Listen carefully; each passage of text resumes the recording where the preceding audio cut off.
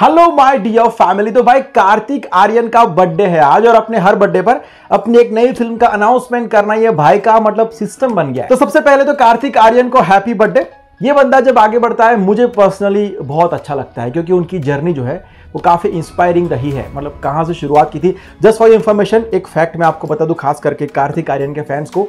कार्तिक आर्यन की third film आने तक वो और 12 लोगों के साथ एक ही घर में रहते थे। मतलब थर्ड फ़िल्म आने तक भी वो सिचुएशन थी उनकी लाइफ में। और ब्रेक मिलने से पहले की बात करूँ तो भाई के पास अपना पोर्टफोलियो बनाने तक के भी पैसे नहीं थे। एक्चुअली घर वालों ने उनको यहाँ पर पढ़ाई करने के लिए भेजा था। तो भाई यहाँ पर फिल्म्स के लिए एक्टिंग के लिए ट्राई कर रहे थे। ये घर वालों को पता नहीं था तो जो भी खर्चा मिलता था सिर्फ़ पढ़ाई के लिए मिलता था। और ऑडिशंस के लिए इधर उधर घूमना, अपना पोर्टफोलियो बनाना, हज़ार तरीके के खर्चे होते हैं जो लोग इस फ़िल्म में हैं, अच्छे से समझ पाएँगे।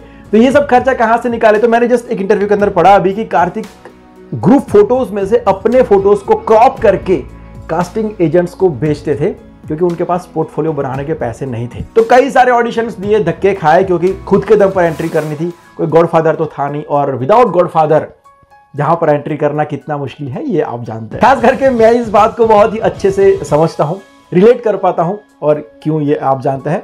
और इसलिए ही कार्तिक आर्यन जैसे एक्टर्स आउटसाइडर्स जब आगे बढ़ते हैं और इस मुकाम तक पहुँचते हैं तो मुझे बहुत अच्छा लगता है यार। तो फाइनली कार्तिक को मौका मिला था 2011 में, प्यार का पंचनामा मूवी से, और भाई ने मौके पे चौका मारा था। आज कार्तिक जहाँ पर है, ये जो उनकी जर्नी है, जितने भी आउटसाइडर्स अभी भी ऑडिशन की लाइन में खड़े हुए हैं, उन सब के लिए काफ़ी इंस्पायरिंग है। उन सबको कार्तिक आर्यन को देख के एक होप मिलती है की भाई रास्ता मुश्किल है, लेकिन नामुमकिन नहीं है। वैसे हर फ़ील्ड के लोगों के लिए ये एक मोटिवेशन है की आप अगर ठान लो तो कुछ भी हो सकता है। एनीवे तो अपडेट ये है की कार्तिक ने धर्मा प्रोडक्शन की फ़िल्म साइन कर ली है, और आज अपने बर्थडे पर अपने फैंस को गुड न्यूज़ दी है। ये फ़िल्म आने वाली है 15 अगस्त 2025 में और कार्तिक के इंस्टाग्राम कैप्शन से तो ये क्लियर है कि ये फ़िल्म इंडियन हिस्ट्री और अपने हीरोज के सेक्रीफाइस पर बेस्ड होगी। ऊपर से 15 अगस्त को आ रही है, इसलिए ये बात यहाँ पर भी कंफर्म हो गए plus Dharma production Balaji telefilm ऐसे बड़े बड़े प्रोडक्शन जुड़े हुए हैं। यानी कि फ़िल्म का स्केल भी बड़ा होगा और इसको डायरेक्ट करने वाले हैं संदीप मोदी, जिन्होंने आर्या टू और द नाइट मैनेजर जैसे एक्शन सीरीज़ में अपने डायरेक्शन से फैंस के बीच में एक अलग जगह बनाई है। तो भाई कार्तिक का ये प्रोजेक्ट उनके करियर में एक बड़ा बूस्ट लेके आ सकता है। उसमें भी अगर ये वॉर फ़िल्म हुई तो भाई मेरे लिए तो इंतज़ार करना मुश्किल होगा। क्योंकि देशभक्ति वाली मूवीज़ अपने रियल हीरोज और अपनी हिस्ट्री पर बनी हुई मूवीज़ देखना मुझे बहुत पसंद है। क्योंकि ऐसी फ़िल्मों से पता चलता है कि आज हम जो खुली हवा में सांस ले रहे हैं, भाई, उसकी कीमत कैसे कैसे चुकाई है हमारे हीरोज ने। कुल मिला के बात करें तो कार्तिक आर्यन की जर्नी बहुत ही बढ़िया तरीके से आगे बढ़ रही है भाई। कबीर खान के साथ चंदू चैंपियन भी आ रही है। उनके अलावा अनुराग बासु से लेकर अनीस बजमी और अब संदीप मोदी, कार्तिक ने बड़ा हैवी लाइनअप करके रखा हुआ है। कहा वो वक्त जहाँ पर कार्तिक के पास अपना पोर्टफोलियो बनाने तक के पैसे नहीं थे और कहा आज का वक्त जहाँ पर भाई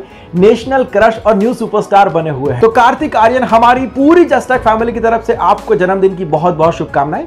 आप अपनी लाइफ में और अपने करियर में ऐसे ही आगे बढ़ते रहो, यही दिल से दुआ है। वैसे आप लोग इस कार्तिक की न्यू फ़िल्म अनाउंसमेंट पर और खास करके उनके बर्थडे पर उनको क्या कहना चाहते हैं? कमेंट्स करके बताओ next video bye take care and Jai Hind